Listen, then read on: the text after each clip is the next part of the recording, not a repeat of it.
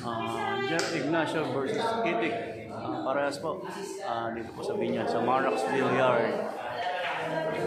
Sa mga hindi pa po nagsasubscribe sa YouTube channel ni Itik Vlog Show, subscribe na po kayo. Ha? At mapapanood nyo ang idolo na si Doc Edwin Doc Gamas. Itik.